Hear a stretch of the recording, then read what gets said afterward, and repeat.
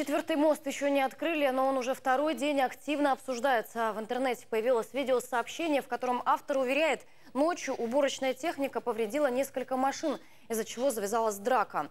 Правда, подтверждения на кадрах нет. Генеральный подрядчик ответил нам, что сейчас по этому факту проводится проверка. Непонятно, кому принадлежат автомобили. Кроме того, устанавливается место съемки. Предположительно, это улица Свердловская, где движение не закрыто, и тогда вопрос о нарушениях режима охраны снимается автоматически.